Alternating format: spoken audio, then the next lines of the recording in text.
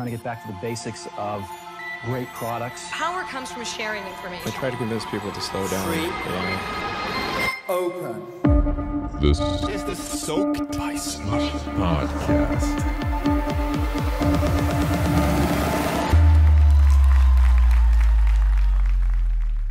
Hi, everyone. Welcome to the Soaked by Slush podcast. My name is Isak Rautio. I'm here in Copenhagen, and uh, as my co host for this episode, uh, Oona, back in Helsinki. How are you doing, Oona? I'm doing great. How are you, Isak? I'm great. Looking forward to another episode. In this episode, we have as our guest Sofia Nunes from Mambu. Nice to meet you. Nice to meet you too, Isak. Thanks for having me. As uh, before we get into the nitty gritty, uh, would you like to give a short introduction of who you are and what do you do professionally? Of course, I'm one of the co-founders of Mambu, and I'm also leading uh, the culture. So I'm head of culture at Mambu, and we're a scale-up company at the moment. We have um, 500 Mambuvians all over the world, and so I'm helping driving the efforts to that scale-up phase that we're facing. And um, we don't come come by so many co-founders and heads of culture. Um, why do you think that is, and how did you become co-founder and then head of culture as well? Well, the co-founding uh, story uh, started well 11, 12 years ago, actually, when I met my two other co-founders during our master's program in human-computer interaction. And uh, we became friends before we even started to start a company together. Um, and i think that will eventually lead to what the culture became and what we defined as a culture. But about my story about my my path uh, in the beginning being not the technical co-founders. So my two other founder co-founders were the technical and business oriented backgrounds. I was more coming from the clinical psychology and social sciences. And as such um, i was a bit filling the gaps uh, with everything right? So if we needed uh, support in support then i would do support. I was leading support then sales then delivery projects. And so there was not a very traditional career path for me in the first few years of mambu if you wish. And but the core of it was always the people right? So at, at some point i started directing and narrowing down that area of focus more to the people side of things. And um, ended up going through to more talent acquisition hr people operations and then culture i think culture is really the core and it's where i feel that i'm the best uh, that i can contribute the best to to mambu at this stage Yeah, I just wanted to kind of dive deeper just a little bit on that. What does culture mean for you? How would you define culture, company culture? Well, I'll define it. It's not my definition, but I think it's the one that is the best and the easiest. Is culture is how we do things here, right? It's uh, it's really uh, everything. It's uh, it permeates everything you do. Really, it's not about perks. It's not about benefits. It's not about. It's really how you operate, how you and your employees and your company operates, how you deal with customers, with partners, with each other, how you collaborate, how you uh, reward, how you um, hire people, everything. All, all of those processes and systems are uh, essentially culture, right? That's your culture, it's your DNA, essentially. That's a very good definition. Thank you. What about uh, Mambu and the culture at Mambu? Uh, let's start breaking down the, the, sort of the core philosophy uh, when you started uh, thinking about this. What is the core philosophy behind the culture at Mambu? Yeah, so I think when we founded the company uh, 11 years ago now, um, and after working on that concept for one year, as I said during our master's degree, um, I think that's when the culture started, in a way, being defined. So we we started as, uh, like I said, two, uh, three friends uh, at a time, and we were very different. So we have very different personalities. We still do, but we also have very had very similar values. Uh, so when it comes to how we wanted to interact with people, with our world in general, with the environment, those were very similar values that we shared.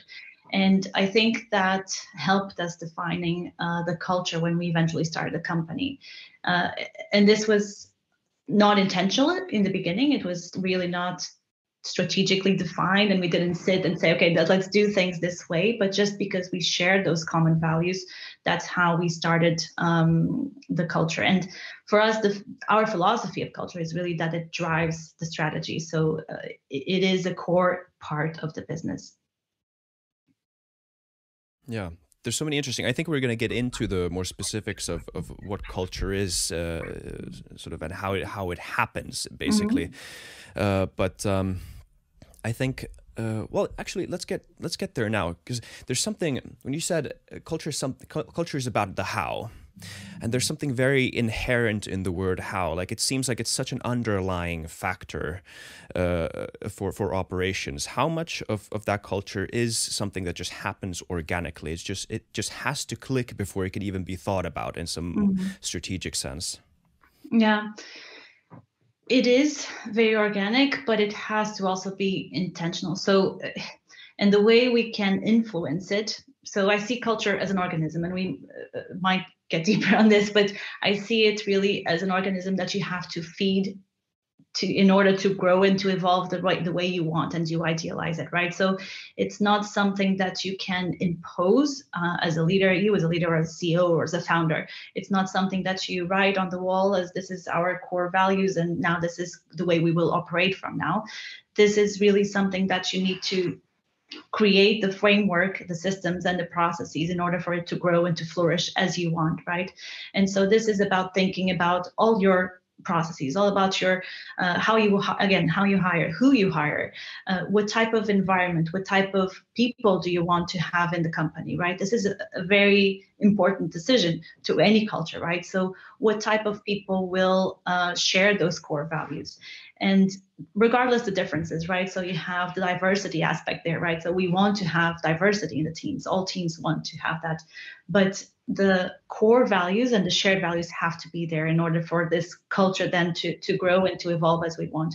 But it is it is very much strategic in the way that you have to look at those systems and processes and make sure they are the right ones to make it easy for people to just live that way, uh, having taking into account that they do share those core values that that you also have.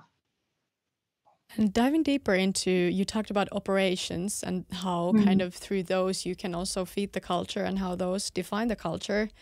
Can you think of some key operations, rules, habits um, that at Mambu have been kind of in key position in defining the culture, like feedback, uh, the way you give feedback, the way you reward people, um, meetings, like how do you mm-hmm. operate meetings, or what are kind of the key operation, operations and habits that define the yeah. culture? I think one key that I would like to to mention is appreciation. So this is one of our core values, and this is uh, something that we are very um, focused on, right? So recognizing people, appreciating people, not just in terms of awards, that also, but not just that, but also how we um, how we promote, how we um, how we reward uh, the people who not just by performance, but uh, when they live by our values. So today, for example, we have, and this is very interesting. So we have our uh, session of um, where we will announce the outstanding Mambuvians. This is an initiative we created four or five years ago, uh, which is about recognizing those people that throughout the year lived by our values. So they went above and beyond their role description uh, and try to make Mambu generally try to create Mambu, make Mambu a better place for them and for others. And this is something that we thought it would be really important to recognize and just have uh, this. We have this uh, announcement session every year. We have all the leaders electing uh, a group of people that actually did that and lived by our values throughout the, the year. And then it's really important to recognize that, to, to, to say, yes, we, we do recognize performance. We have our performance reviews and all that. But um, living by our values is really fundamental for us and for what makes us us, right? So we want to recognize that. That's one of the, the, the things, for example, appreciation. Interested to hear how you got there. You mentioned you founded the company 11 years ago. Um, sorry, was it 11 years ago, approximately? Yeah. So pretty, yeah, quite a while ago, like a decade ago. And you you said you started it with a group of friends, and I can imagine. Uh, uh, well, there's obviously the fact of you being friends from before, and then that the group is small. Like culture is easily manageable at that mm. point. But as you start growing, as you start scaling up, how do you make sure that the culture grows with it? Yeah. How do you manage it? Yeah, that's very true. So when we started, we were essentially um, uh, two. Well, we started growing the company back then, but we were still in two offices, let's say. So it was Germany and one in Romania, where our technical team was, and it was very easy. Like the, the level of interaction was quite high, and we were all the three of between the three of us, we were all hiring um, the people that were coming to Mambu, right? So we were for the first two three years we uh, were part of the interviews for all those people. So it was very easy to keep in touch with those values and to, to see if there was this fit to our core values. Um, as we grew, of course, we had to let go of that, right? And obviously rely on other people to do that for us. And with that came the question. So, how do we ensure that those traits and those characteristics that we uh, were looking for in people were still present throughout the hiring process, but everything else that we do? And how could we make them more tangible in a way? And that's when we came up with the values, right? So when we started defining our core values and uh, thinking they would serve as a reference essentially um, to everything that we would do from then on, including hiring.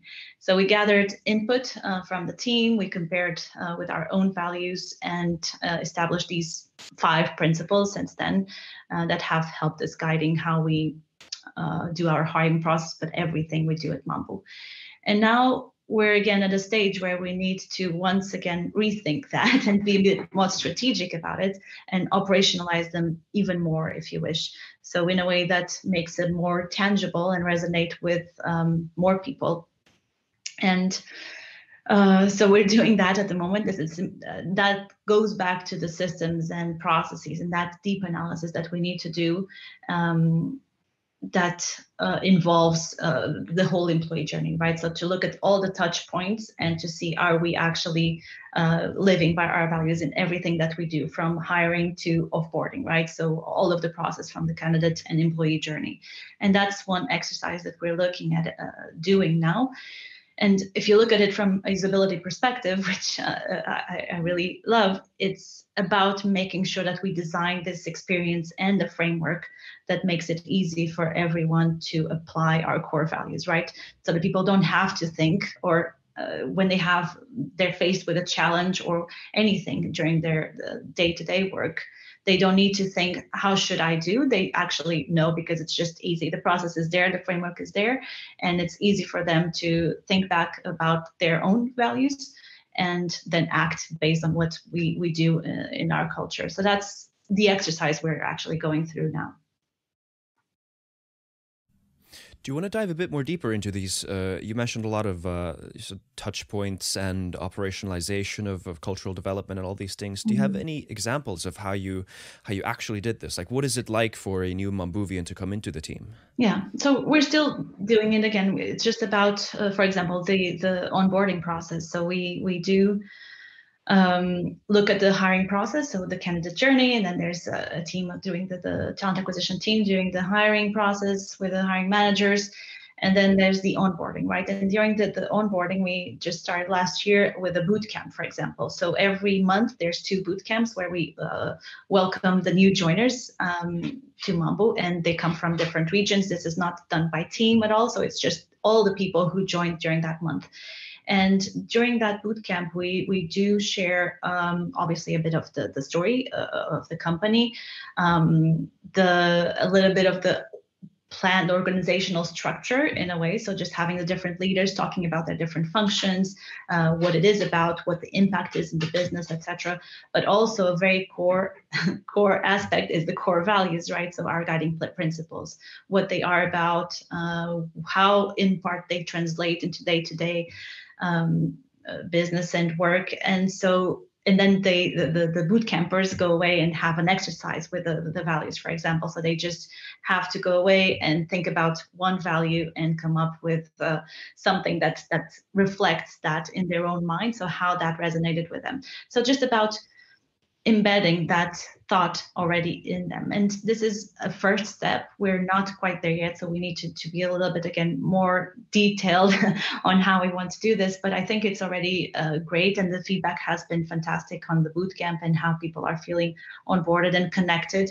Uh, because there's also that social part, right? So because you are being onboarded with a group of people uh, with you, you already create those bonds even if these people are from other teams and other regions even and across time zones. So that's uh, one of the aspects that we've been focusing on.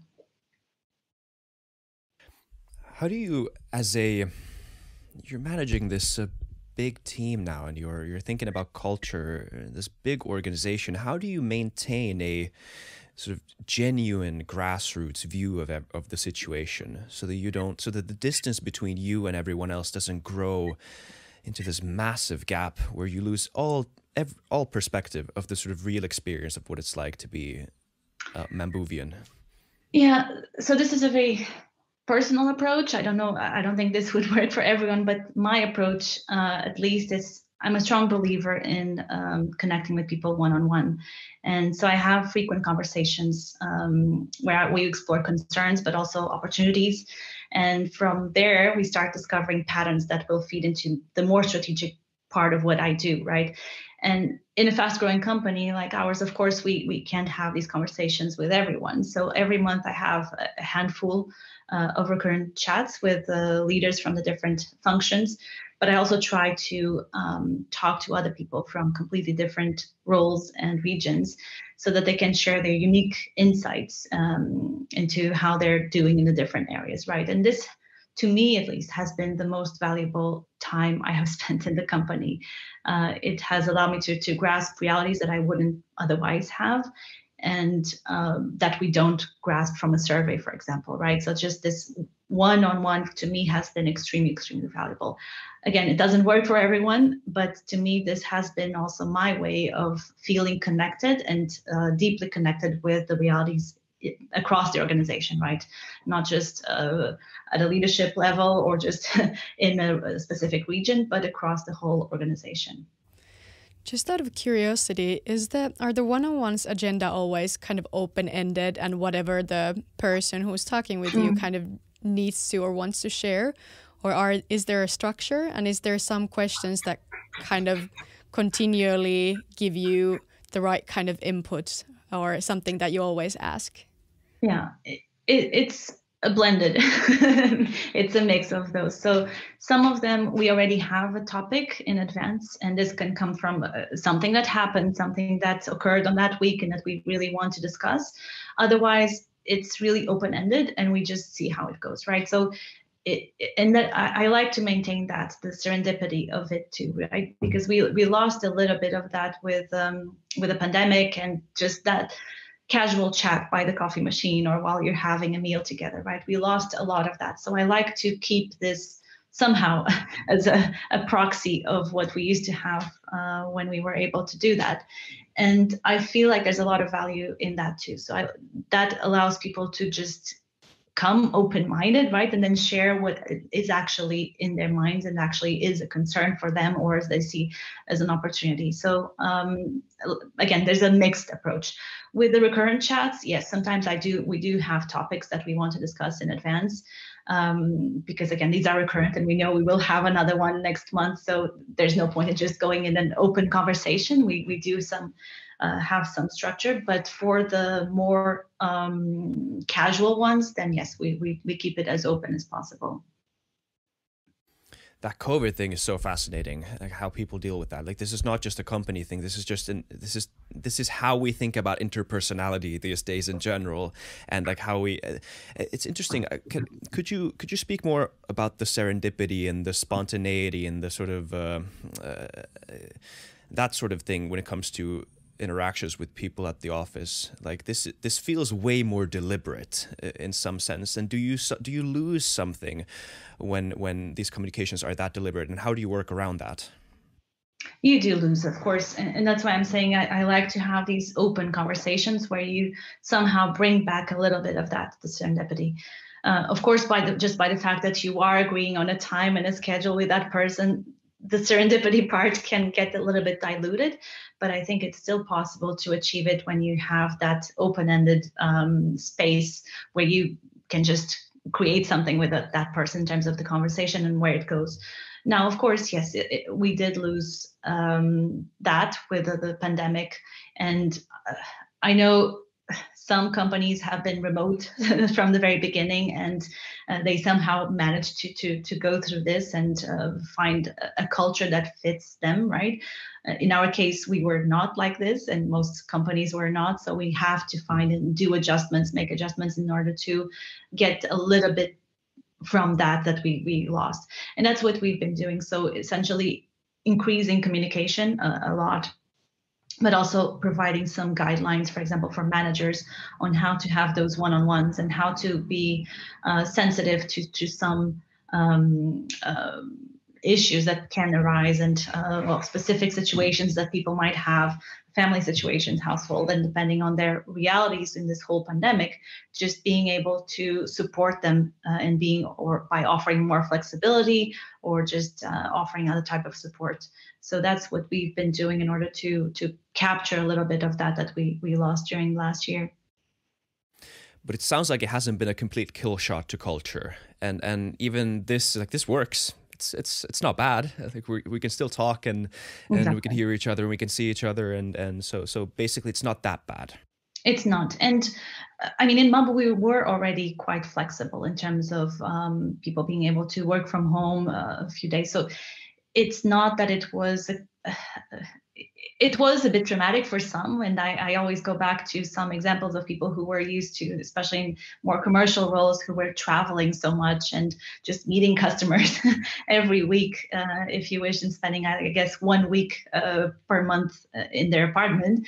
And all of a sudden uh, we're forced in that apartment for the rest of the year right? So there's that those situations. There's situations of parents with kids that now are, are also struggling in that way. So yeah, there was a, a change, um, but we were also we were also very digital already, right? So we were very uh, agile in terms of adaptation and how we were able to adapt to that. Now, yes, we need to be again more conscious of the fact that some people are struggling more than others too, and we just need to create that space and to make sure that people are comfortable in, in, in sharing and to uh, to have these one-on-ones a, a, bit more frequently and just to to make sure we are flagging those um, situations and how to to support them in a better way has this started uh, defining culture in Mambu in a larger scale? Has it kind of turned back on itself? Have you started thinking about how to manage a, a long-term pandemic situation, uh, or, or, at least at least this type of sort of remote work situation? Mm. Yeah, of course. We, we started thinking about uh, the post pandemic, of course. Uh, I think it's an exercise that all companies should be doing at the, at the moment. And not just that, but what if this happens again, right? So, just in terms of being prepared uh, for this to happen, um, or the similar situation, hopefully not, but just something that forces us again to be remote. And I think there'll be many changes um, along the way. And yes, we have been thinking about that. How will be the return to the office, for example? Uh, how do we want our offices to be? Are they going to still be the same? Is it going to be a different space? Is it a space that now people use for a different purpose and not just to to be there the whole day working on their own, right? Is it more for the collaboration aspect now? So we are thinking about that and also about um, the flexibility that will come from this, right? So additional flexibility that people will expect, honestly, and um, fairly so, right? After more than one year working from home, and now forcing people to come back to the office and work from home only one day per month, for example, wouldn't make any sense, right? So I think all companies should be making this effort at this point. The ones who who are in the in this type of industry more technologically um, oriented, but I think it's a lot about that, about um, creating more flexibility and offering people the option to come to the office, but also work from home for more focused work if they have the environment and if they want. Because we we did uh, a survey back in uh, last year, um, end of last year, and about the pandemic and about how we could support and just see what the the reality was. And the majority of the feedback was in terms of once we go back to the office to have that flexibility. So having the option to work from home, but also to have the office space still as an option. You people don't in their in the majority of the cases in Mambu at least, they don't want to be remote completely. So it's uh, really this blended approach. Um, thinking about the pandemic and how things have changed, from your point of view, has that changed how you, what are your culture KPIs, how you measure them?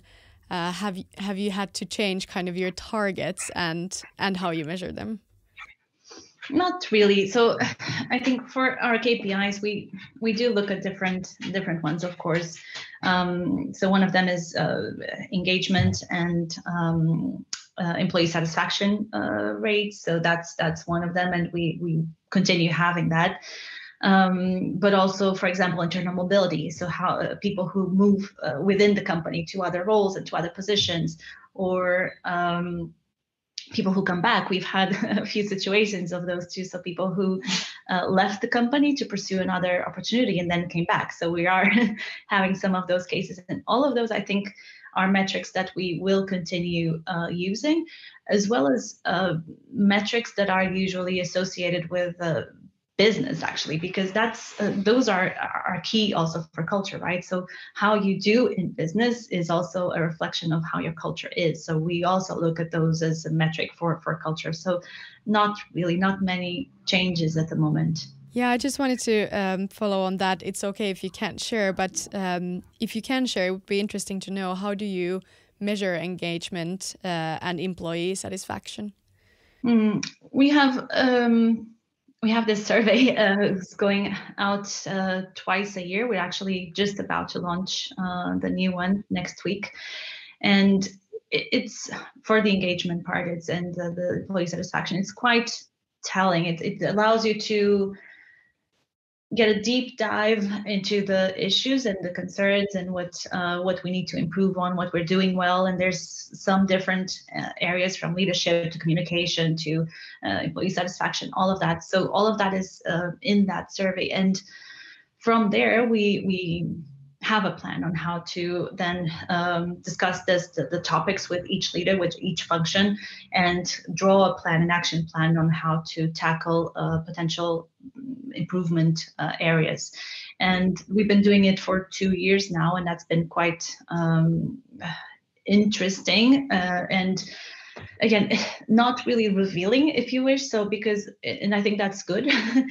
So we are still able to be uh, quite connected with people and with the team. So it's not that we've had massive surprises and uh, when we, we run these surveys but it still allows you to to go deeper in the issues because people can comment they can add there's open questions of course they can comment on every single question and just the fact that people actually do that and go through the time of doing that of, of uh, sharing that information shows us um, the engagement too right? So it's about um, even if it's constructive or negative feedback on any aspect just the fact that they're spending the time doing it and writing about it it means that they still care right? And that's uh, additional reason for us to, to pay attention to it and to act on it so that's how we've been uh, we've been doing so far and is it an annual questionnaire or do you ask it more often twice a year yeah so every six months roughly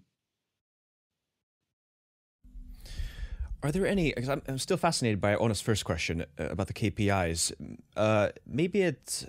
Uh, I don't know if this phrasing is helpful, but are were there any not known unknowns, but any unknown unknowns that were revealed about your culture after this uh, new remote work uh, pandemic situation hit that you maybe realized that were there that you haven't hadn't noticed that explicitly before it was perhaps gone?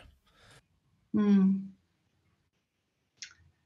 Uh, I'm not sure. Again, we there was not a drastic change. Of course, everyone had to suddenly stay stay home for long, much longer than than before. But we were in a way again because we're still not a big company, we were still very connected, even with the different regions, right? So we're not connected as a whole as much as we we could be, and ideally would be, in terms of uh, daily conversations. Of course, at this pace is not not um, possible, but we're still very connected with the regions and knowing what's going on and what's uh, what's happening with the different offices and with the, the, people in those offices. So it's not that there was mm, how to say a drastic change in the way we operate and the way we communicate and collaborate. Uh, so we had to do adjustments, of course. Again, technology was already our friend before that and continues being and uh, will continue as such. Um, and one thing I didn't mention before, and that could potentially also, it does help a lot on this connectedness that we lost, is the fact that we have a group of people um, that are elected every year. So they're our cultural ambassadors, that's how they're called. And their main role is essentially to bring back this social uh, connectedness, right? So just to, um, we started this program last year, actually just before the pandemic hit, and the goal was to to have this in the office and to have these activities and initiatives that people could get together and connect after work or uh, in any time of the week. But um, then the pandemic hit, and all of a sudden they were forced to do this, all of this virtually, and it's been fantastic really to see the results so uh, of course they started with some um, online virtual activities but now one of the things that actually one of the positive aspects of all of this is that instead of doing it uh, locally and just having these initiatives just in a local basis for each office is to actually go broader than that. And since we're virtual anyway just putting several offices together and having these joint virtual um, initiatives that people can get together and get to know each other um, so that's been one very positive aspect of uh, of this,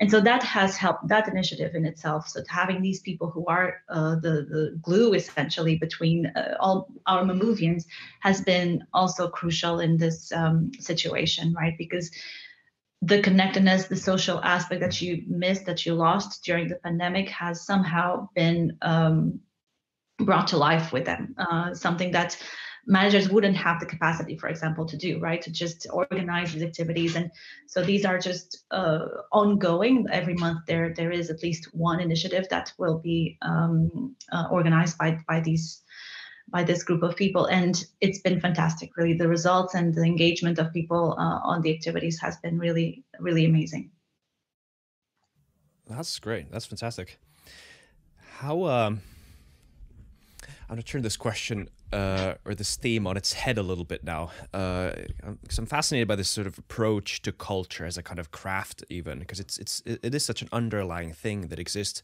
almost behind every operation or like supporting operations in a, in, a, in an almost subconscious way. Ideally, I don't know if you agree with that premise, but but then what is if you if you think about uh, culture as a craft, what is the role of control in in creating a culture and, and, i guess what i mean by this and what i mean by turning this theme on its head when does culture or how does culture become almost suffocatingly immersive or even like mm-hmm. even cultish you could say like it, is there such a thing even do you think that that's yeah. a legit thing to keep in mind a little bit like I said before, I don't think you can impose a culture on an organization. I don't think it's something that you can impose in itself the culture is like this organism, right? That you you can make it grow um, and flourish depending on the nutrients that you give it, right? If it feels suffocating or cultish, then it's because it's been fed to evolve that way, if you wish. Um, and the nutrients are again the systems, the processes, the stories that you tell, uh, the leadership behaviors. All of that feeds into the culture. The way that you hire, that you recognize, uh, that you promote, that you let people go all of it will inform the culture and shape it in a certain way. So it's not really about a, CEO or a leader or co-founder to um, decide what the culture will be and impose that by writing it on the wall or everywhere and expect people to follow. That won't really happen. It has to be something that's systemic, that's created, that's enabled, and then it will flourish. But then, yes, it is about the people to to actually live it and actually do it. So i don't think again control and um, making it uh, in a way that will become enforced i don't think this is even possible because people will eventually if it feels that way it's because the people who are there also live by those values and they want to promote that and to evolve it that way. Otherwise it won't uh, it won't survive. Yeah I keep I keep pretentiously quoting song lyrics in this podcast. I don't know what the producers think about that, but this reminds me of Neil Young. Uh, like I think it's "Love Is a Rose" is the song, and like the rose only grows when it's on the vine. I think that's yeah. the sort of basic uh, philosophy here. That's exactly. Which is a yeah, and and and uh, do you, how fine is the line? How do you how do you manage this uh, in practice? How do you approach this? Do you, do you ever think about this this control aspect in your own own work and how you think about culture? Not control, really. I mean, like I said, yes, uh, as being head of culture, you might think that way. Oh, we want things to be this way, but you really need to first of all, you need to know exactly, yes, what your core beliefs are, your core values are, and we are very clear about that uh, as founders. But then you need to walk the talk, right? That's that's one of the key aspects of it. You need you yourself, but all the leadership team has to do this, and if not, then it, it's a massive uh, sign that things won't go the way uh, you would like them to go because it's just, again, having the core values and uh, mentioning them everywhere and then living not according to that, but in opposite reaction to it just won't work. So people will actually take that as a culture. So you need to to lead um, by example. Really, you need to be the role model and and do what you want people to to be doing in your company, which should be easy, right? It, it shouldn't be an effort. If you really believe, if these are your core values as a person, you should be walking the talk, right? Because this is how you live. You are not forcing it. You are not pretending anything, right? And so that should be quite easy. And um, so I, I don't feel control uh, uh as a word that I think a lot about. It's more really about enabling and about creating this uh, framework for people to to to live by our values really. It's a good answer. Uh, how do uh, let's uh, let's expand this a little bit. How do you um, maybe more generally then what are some red flags in culture that you notice? Uh, we already went through this the, the earlier part but what are some other sort of cultural red flags? And how do you think about sort of uh, mending mending things in a sense? Mm-hmm. I can give you one example, and I think most companies might have had one of these at some point. Uh, it's your attitude um, towards the brilliant jerks. and brilliant jerk being the person who delivers great results. They are excellent at what they do, but they are a bully towards their teams.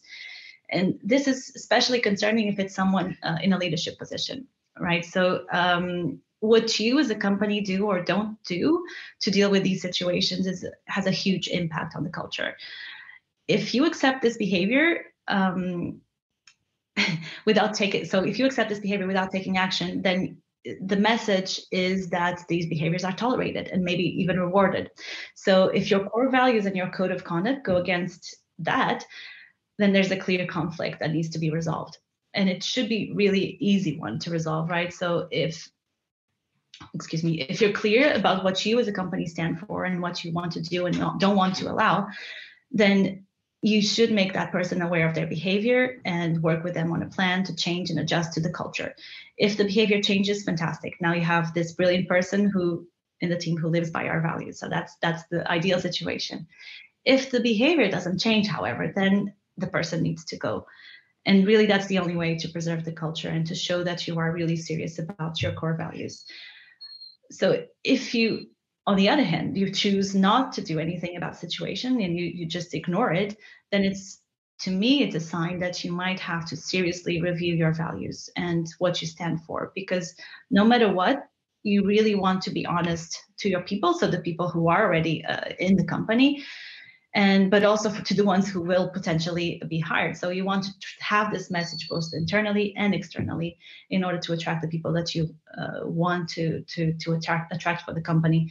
So no matter what you do, these need to be consistent. So if you decide that you want to tolerate bullying or that uh, you want to allow now people to work uh, or force people to work 80 hours per week, you can say that you also stand by uh, work-life balance, right? That this is one of your uh, key aspects in the team because those are not compatible. And Uber, for example, is a good example of this transparency, right? So they used to have, I don't know if it's still part of their values, but always be hustling was one of their values. So just work harder, work more, more, more. And arguably, this is be- probably not the best culture for everyone but clearly it is for some people right so you want to attract those people and that's why it's in your best benefit to be transparent and to um, advertise your values as they are right so this is one of the very telling i think uh, cases where you need to uh, look at and to see how you want to deal with the, the situation of the brilliant jerk that's a that's a great example. Um, do you think that that kind of situation can arise or can cause a clash between those people who measure the performance um, more, and then, for example, head of culture who has to also look after the I don't know if that's right to call them like softer values, but the values of the company and so on. Yeah. And how do you how to solve those that clash between those different parties mm. then? I think that's uh, exactly by and this goes back to culture exactly so if you are very clear about your values and about not just the values about oh, our value is integrity or this you need to actually operationalize it in behaviors, right? So if you are very clear about those and those are well defined and you know what you stand for, this should be a very easy solution, right? So in the performance, you are already taking these into account. So you also know in performance reviews that these are not tolerated behaviors, or they are, right? Again, this is your choice, but this is based on the values and what behaviors you define as part of those uh, values and so it, there shouldn't be a conflict at all. Uh, if there is again there should it's because they are not well solidified right? They need a little bit more work uh, or the, the, the people need to work and, and collaborate a little bit more in order to um, align on those. But the values should really be your answer to all of these challenges all of these issues that can arise. Great. Thank you so much Sofia for joining us, the Soaked by Slush podcast. Thank you. Really appreciate the time. Thank you very much. Thank you, Sofia. Thank you. And listeners, uh, remember to comment, rate, and subscribe. Uh, follow us on social media everywhere. We have the descriptions down in the description box. And uh, uh, yeah, see you next time. Thank you.